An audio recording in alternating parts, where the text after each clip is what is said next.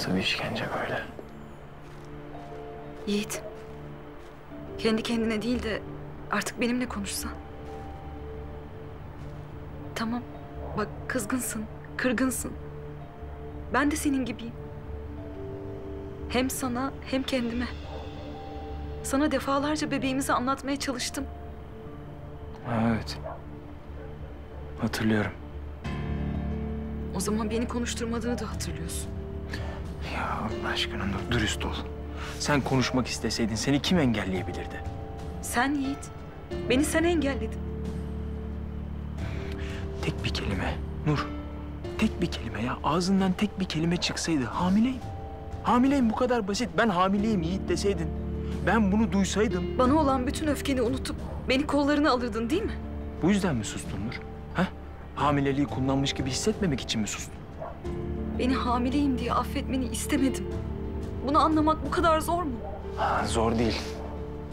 Hem de hiç zor değil. İmkansız. Benden hamileliği saklamanı anlamam imkansız. Bu yüzden sustun. Gururun yüzünden sustun. Sadece gururuna yediremediğin için konuşmadın benimle sustun. Şu halimize bak. Allah kahretsin şu halimize bak.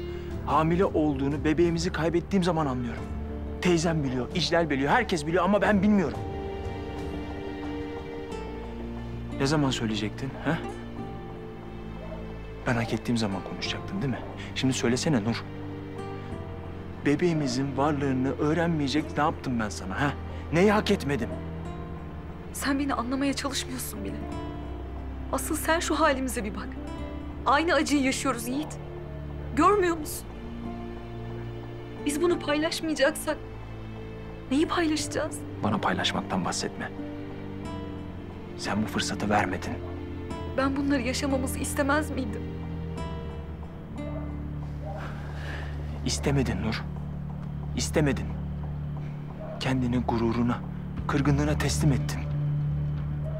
Sen benimle mutluluğu paylaşmadın. Çocuğumuzu, bebeğimizi, bebeğimizin geleceğini benimle paylaşmadın. Şimdi... Şimdi bilmediğim bir mutluluğun kaybının acısını benimle paylaşmamı istiyorsun. Böyle mi olsun istiyorsun Yiğit? Köşelerimize çekilip bu acıyı birbirimizden uzak mı yaşayalım istiyorsun?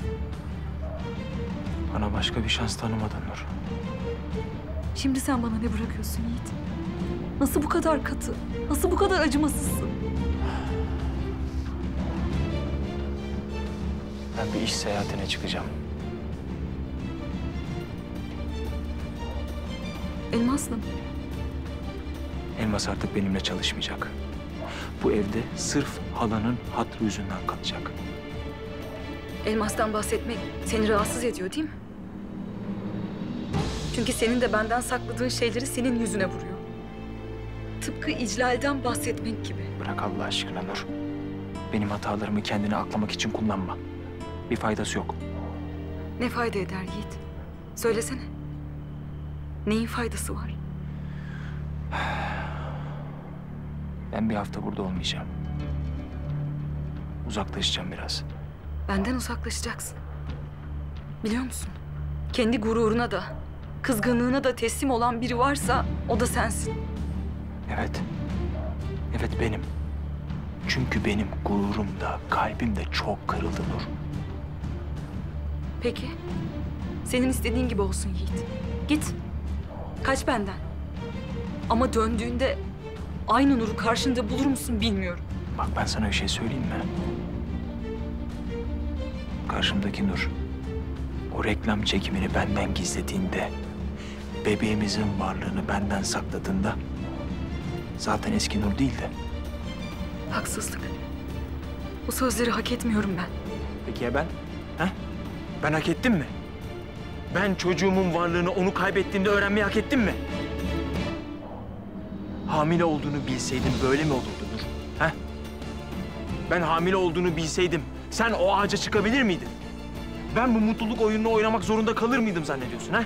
Sen bakıcılık yapmaya devam eder miydin? Ben senin hamile olduğunu bilseydim ben ya ben. Ben senin hamile olduğunu bilseydim. Sen bir saat daha burada bakıcılık yapabilir miydin bu evde? Sen, sen benim bebeğimi düşürdüğüm için Beni suçluyorsun. Beni suçluyorsun. İnanmıyorum.